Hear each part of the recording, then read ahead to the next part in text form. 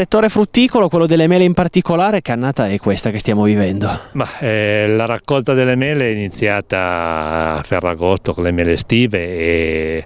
purtroppo il, le prime avvisaglie del mercato non sono positive, consumi ridotti, eh, i costi di già quelli della campagna più quelli del magazzino per la conservazione molto alti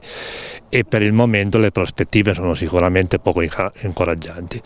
Ieri come col Diretti abbiamo, abbiamo richiesto e abbiamo ottenuto ieri un incontro con la Regione per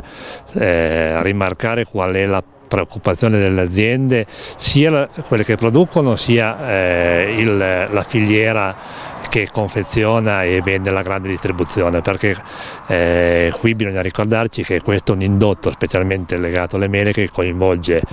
tutto un territorio, tutta un'economia che non possiamo sicuramente lasciare compromettere. Eh, bisogna mettere in campo delle azioni straordinarie e bisogna però comunque per il futuro puntare su una promozione del prodotto, questo del consorzio della, della Valle Varaita è un piccolo esempio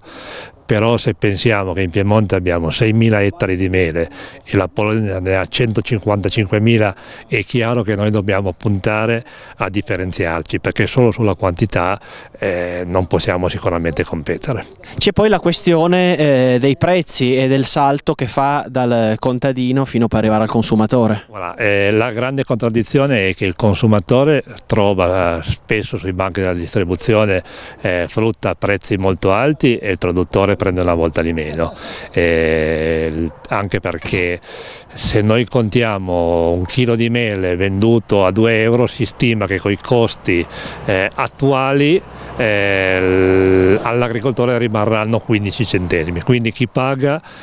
cioè, quindi è un prezzo totalmente sotto i costi di produzione, quindi chi paga è sempre il primo e l'ultimo anello della filiera. E questo non va bene perché comunque eh, la produzione ha un costo, quest'anno poi abbiamo avuto grandi problemi di manodopera, abbiamo avuto la difficoltà del eh, decreto flussi che ha bloccato tutta una serie di lavoratori che erano già professionalizzati non sono arrivati nelle aziende e il costo della manodopera incide moltissimo su una raccolta che comunque è tutta manuale perché se vogliamo garantire un prodotto di qualità l'unica strada è quella del lavoro manuale ben fatto.